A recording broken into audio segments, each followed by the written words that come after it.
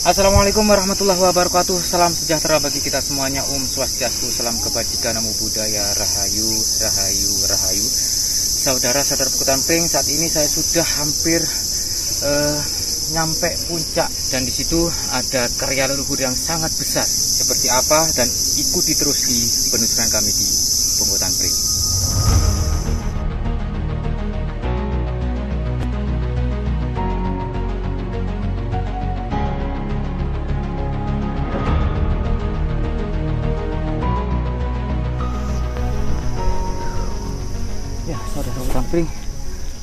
semakin ke sini semakin menanjak. Terjal banget. Tuh. Terus.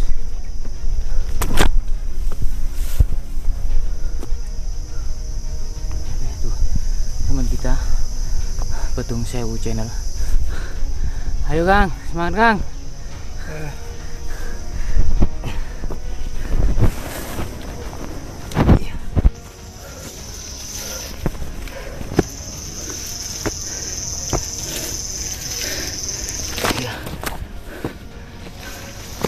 kurang sedikit lagi.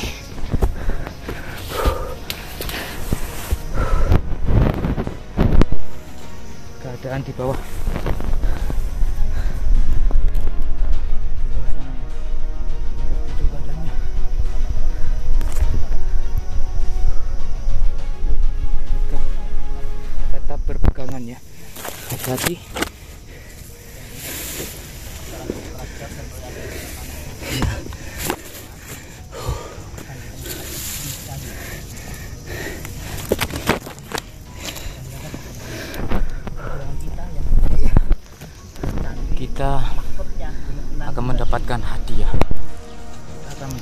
hadiah ini hadiah terbesar ya karya yang besar ini uh, luput dari penjarahan dan luput dari pengerusakan lanjut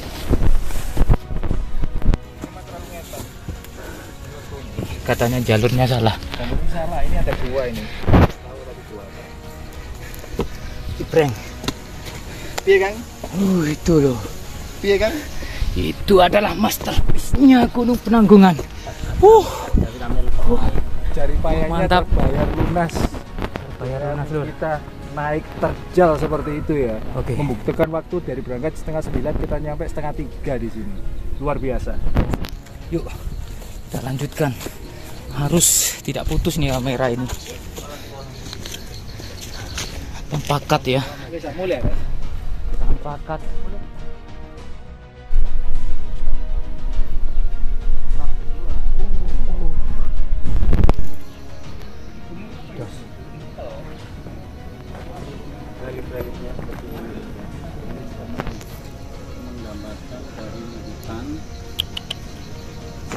Mantap saudara-saudara tampling. Ini adalah karya dari leluhur kita yang masih sempurna ya.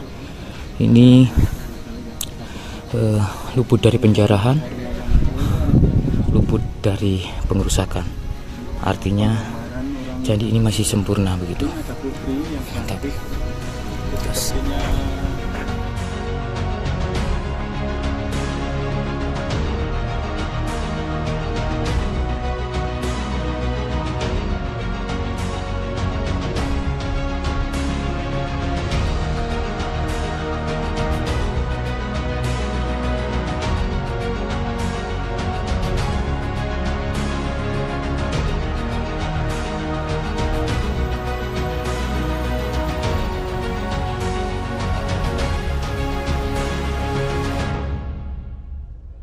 Saudara serbutan pring di depan kita adalah suatu karya leluhur yang sangat luar biasa. Ini merupakan candi masterpiece-nya Gunung Penanggungan. Nah inilah candi Kendali Soto. Tidak mudah untuk mencapai ke Kendali Soto ini. Kita harus naik dengan tanjakan yang cukup terjal tadi. Dan yang paling istimewa dari keberadaan Candi Kendali Soto. Candi Kendali Soto adalah candi yang luput dari penjarahan luput dari pengerusakan. Kalau melihat di gunung ataupun anak gunung penanggungan seperti Gunung Bekal, eh, Gunung Gajah Mungkur ataupun gunung-gunung anak penanggungan yang lain, banyak candi-candi yang sudah rusak, runtuh, bahkan artefaknya bertebaran di mana-mana. Namun di Candi Kendali Soto ini kita bisa melihat uh, secara sempurna begitu keberadaan dari Makara ya yang ditempatkan di depan dari sebuah candi ini terlihat sangat menarik dan sangat cantik. Nah, kita lihat e, betapa megahnya relief ini ya, kaya dengan sulur-suluran, kaya dengan e, berbagai macam e, tanaman, raya dengan sebuah bunga-bunga begitu. Bagaimana mereka ya leluhur kita memahat sebuah batu yang sangat keras dengan alat seadanya ataupun cukup sederhana begitu tapi membuahkan suatu karya yang sangat luar biasa sungguh karya seni pahat yang sangat istimewa sangat luar biasa yang patut kita contoh sebagai generasi muda ya sebagai generasi kita harus mencontoh karya mereka mewariskan seni mereka bagian kiri terdapat relief sosok manusia yang e, semacam melakukan suatu persembahan begitu. Nah, tampak tanah, tangannya menadahkan sesuatu dan ada semacam kayak satu keluarga, ada ibunya, ada bapaknya dan ada dua anak begitu. Ya, dengan memposisikan kakinya seperti e, berlutut. Nah, mereka menghadap kepada sebuah rumah di mana di dalam rumah ini terdapat ada dua sosok yang sedang tidur. Rumahnya tampak di sini atapnya seperti ini bentuk dari atap dulu dan di pojok ataupun di sudut dari atap pasti diberikan ukel ya ataupun ornamen penghias dari sebuah atap. Nah, kemungkinan ini adalah kalau bukan perapian adalah umpaknya ya umpaknya. Wow. Dan dibingkai. Bagaimana ya e, mereka memahat begitu ini seperti dipijat bukan dipahat ya. Tapi sangat sempurna sekali. Nah di atasnya terlihat ada relief-relief yang cukup mewah ya. Dan di sini ini semacam arca yang menempel di sebuah dinding candi. Ini ada di kanan dan di kiri candi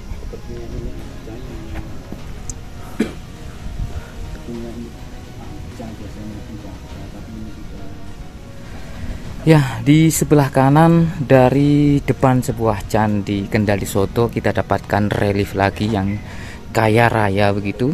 Nah, ini kaya dengan tumbuh-tumbuhan. Nah, terlihat di sini ada semacam kayak eh, pohon pisang ya atau mungkin pohon pakis atau pohon-pohon yang lain yang lain nah di sini terlihat ada uh, semacam uh, flora dan fauna. Ya ada ini kayak apa ini? Mungkin uh, ayam ya. Ini ayam begitu. Terus di sebelah bawah terdapat pohon-pohon uh, yang sangat rindang sepertinya. Dan kita geser ke sini ada tiga sosok manusia. Yang ini e, rambutnya semacam kayak diikat begitu. Nah dipelintir begitu ya. Nah seperti ini. Oke dan ada sosok manusia lagi. Nah ini relief manusia. Ini mungkin laki-laki. Tampak dadanya terlihat terus yang ini beda.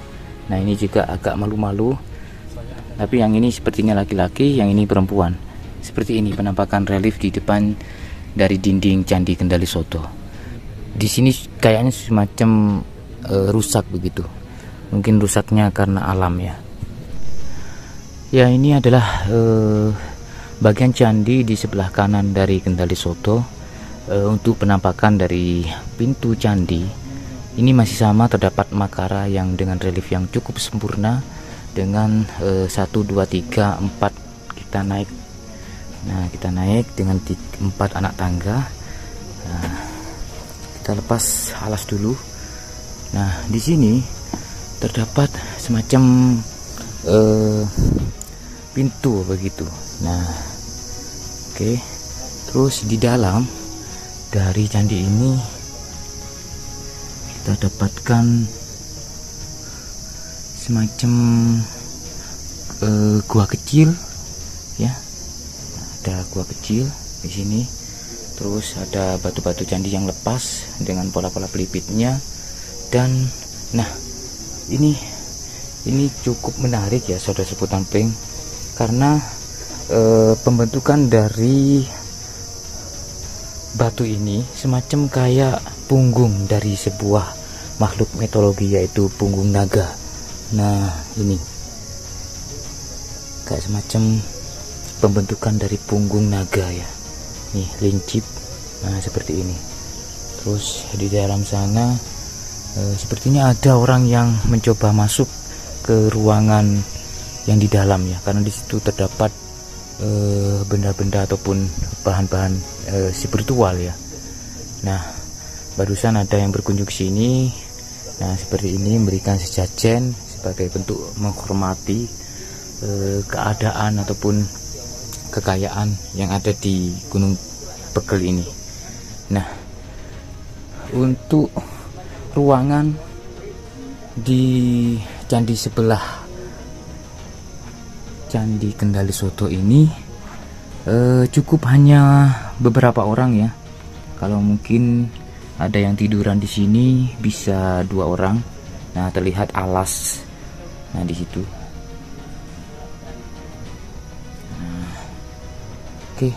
kita turun dulu. Kita turun dulu. Nah, ini di bawah sini saudara sebutan prank terdapat lubang ya, terdapat lubang satu, dua. Nah ini pahatan. Nah ini juga di kanan kirinya. Artinya ini dulu terdapat pintu ya. Ini karena lubang ini fungsinya untuk slot pintu masuk ke sini pintunya bisa dibuka dan ditutup nah artinya ini ada pintunya dulu. Mungkin karena pintunya terbuat dari kayu sehingga e, dengan bertambahnya zaman rusak ataupun e, kena gempa atau apa ya lepas. Dan e, relief ini kayaknya semakin ke sini reliefnya ini cukup cukup berbeda dan menarik juga karena relief wajib seperti ini jarang jarang dijumpai di semua candi hanya eh, candi-candi uh, tertentu begitu. Dan ada uh, relief yang cukup langka juga. Nah relief relief seperti ini cukup langka pembentukan pola seperti ini. Terlihat e, mereka menata dan melekatkan sebuah batu yang sangat e, kokoh sekali kuat ya. Sampai saat ini pun e, daya lekatnya ini sampai saat ini pun kuat sekali ini. Nah ini. Wow. Mantap. Dan reliefnya memutar. Sangat istimewa saudara sebutan plane terus uh, di sini kita dapatkan relief-relief sulur-suluran seperti ini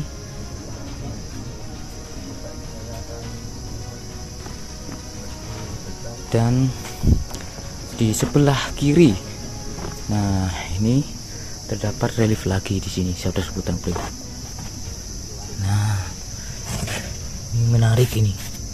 Nah ini ada semacam relief pola daun ya pembentukan daun. Nah ini.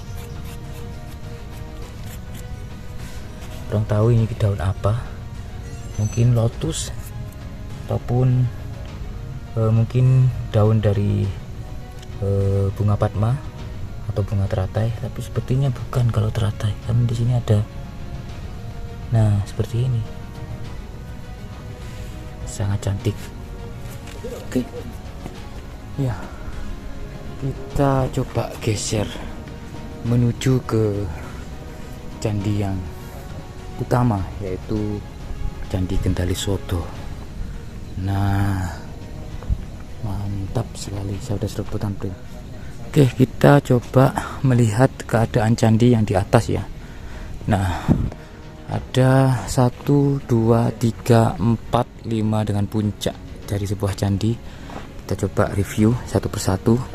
Nah untuk menuju ke bagian nomor 2 dari Candi Kendali Soto ini kita menaiki ada empat anak tangga. Dan di sebelah kanan terdapat relief yang cukup kaya ya. Nah cukup raya juga. Wih sangat sempurna ya pahatannya nah sini kayak semacam ada orang yang membawa senjata. Nah ini. Ini ada orang membawa senjata nah seperti ini. Apakah ini mungkin kendali sotonya ya? Terus ada eh, tanaman-tanaman.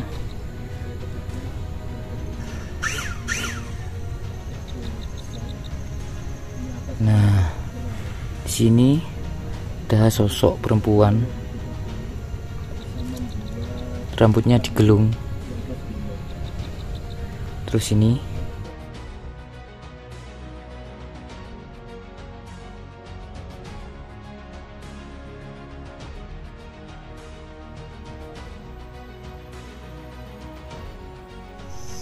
kita naik saudara serbukutan pink Nah ini di bagian ketiga terdapat pola-pola uh, yang menonjol di, di dinding-dinding candi ini. Nah seperti ini polanya. Nah tapi ini berbeda ya. Ini sama yang ini berbeda. Pola yang menonjol ini. Nah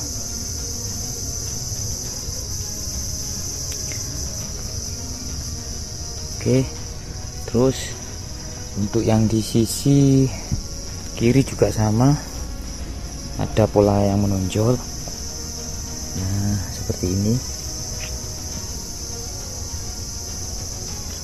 Dan di atas dan di bawahnya terdapat relief yang cukup mewah. Nah, seperti ini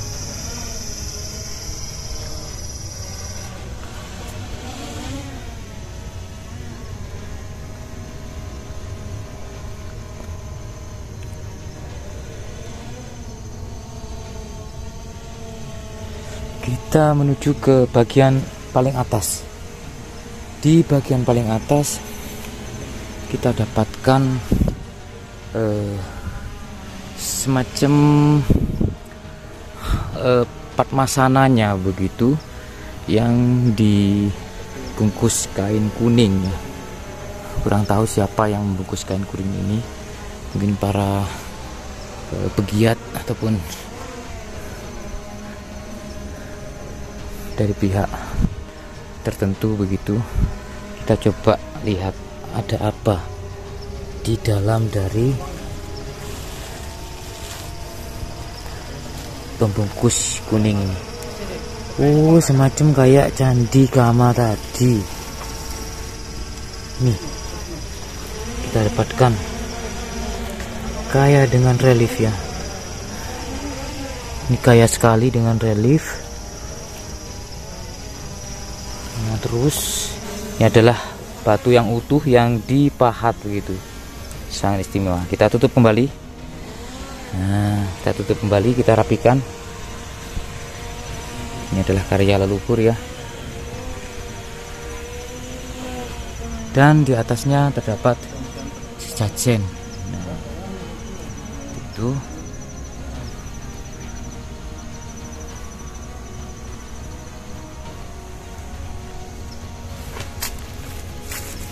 dan semacam ada lingga di atas ini. Ini ada lingga. Tapi seperti bakalan ya bakalan lingga. Atau memang ini tabal batas lingga tabal batas. Kalau ini mungkin sepertinya bukan asli ya dari sini ya. Maksudnya tempatnya bukan di sini.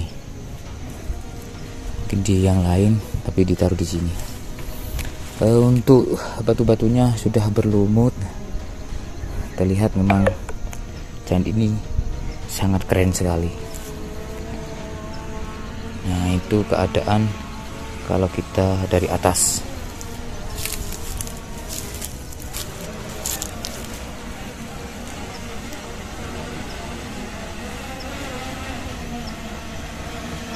Dan keadaan yang di bawah sana tuh. Nah kita bisa melihat pemandangan yang sangat-sangat indah sekali.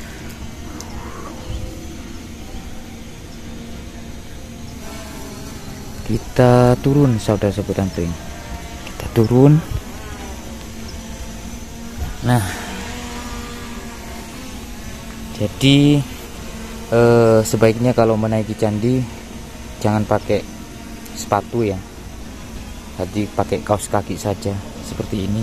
Nah ini saya pakai kaos kaki supaya tidak merusak eh, batu-batu eh, ataupun ornamen-ornamen dari sebuah candi ini kita turun. Kita hitung ada berapa anak tangga. Satu dua tiga empat lima enam 7 8 9 10 11 12 13 14 15 16 17 wih. Angkanya sangat menarik. Ada 17 anak tangga ada apakah dengan 17 wih mantap. Oke uh, mungkin cukup di sini dulu ya saudara sereputan pring untuk review dari Candi Kendali Soto. Semoga bermanfaat dan salam budaya Nusantara. Tinggalkan perselisihan sambung persaudaraan. Assalamualaikum warahmatullahi wabarakatuh. Rahayu